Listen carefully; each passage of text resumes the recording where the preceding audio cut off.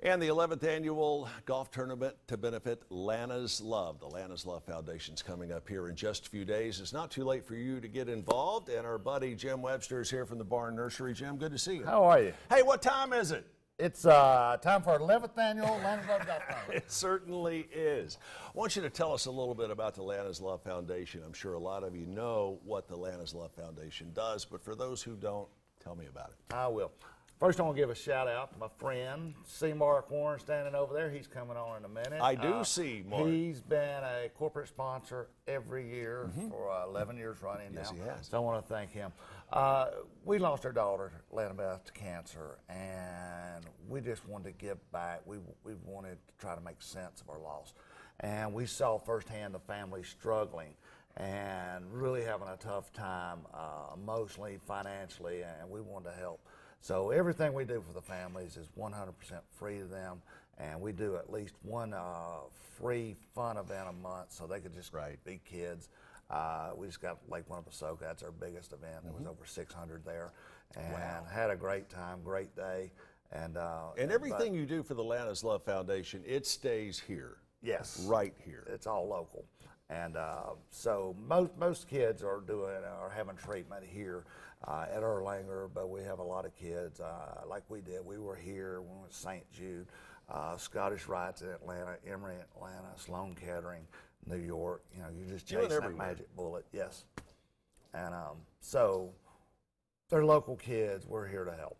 And uh, so whether in current treatment here or not doesn't matter. Yeah, it, it really doesn't. And one of the things I've always admired about what you're doing for the Lana's Love family is you look at the whole family. Sure, the child may be the one with the disease, but the whole family is affected. Well, and you and you know firsthand, Chip.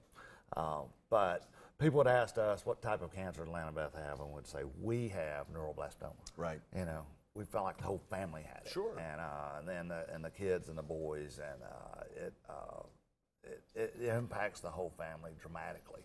G- give me an example of a family you've helped recently. You don't have to name names, but tell me what the Lana's Love Foundation has done for one local family here recently that stands out in your mind. Well, we do a lot of things. We, we help with um, uh,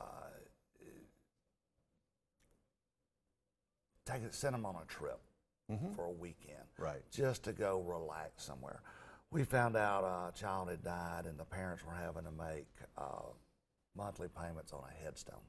Can you imagine walking the mailbox every month and making that payment? No. So we took care of that. Just, you know, a lot of different things that we do outside the scope of what is our mandated mission. We take uh, a dinner to the hospital because Erlanger's hospital food is a lot better than it used to be. I can vouch for that. but still, it's hospital food. Right.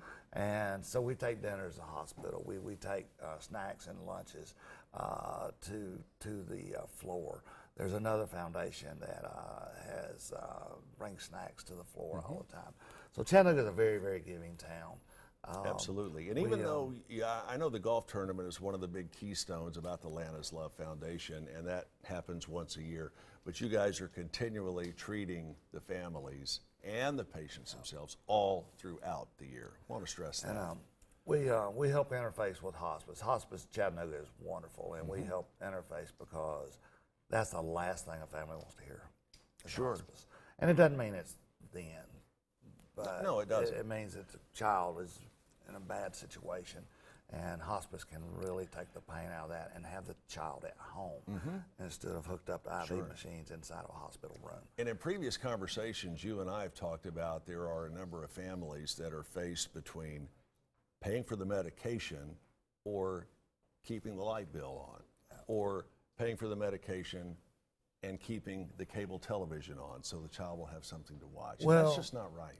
it regardless, even if lucky enough to have two people in a household, somebody has to quit work Right. because you can't have a child taking chemo and be working.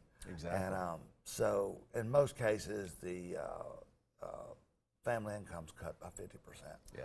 And and that hurts. And there's a lot of kids in that situation that are only from a one parent household, and that that makes it doubly the worse. problems. And, um, So, to raise money for the Lana's Love Foundation, you were doing the 11th annual Lana's Love Golf Tournament, and that is coming up when?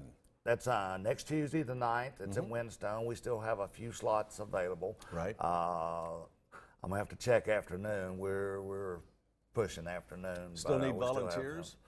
Uh, we Sponsors? We still need sponsors for sponsors. sure. Uh, volunteers. We can still use a few spon- or uh, volunteers. And I'll tell you what, um, if you want to take a look at something, Jim, I was out practicing yesterday. Hopefully, hopefully you will uh, have me on your team because I want you to look at that.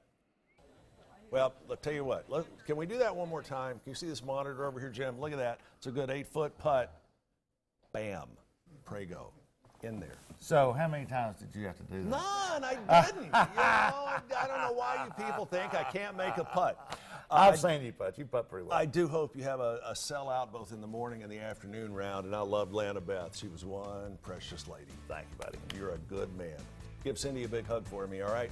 Lana's Love Foundation big golf tournament going on at Windstone one week from today.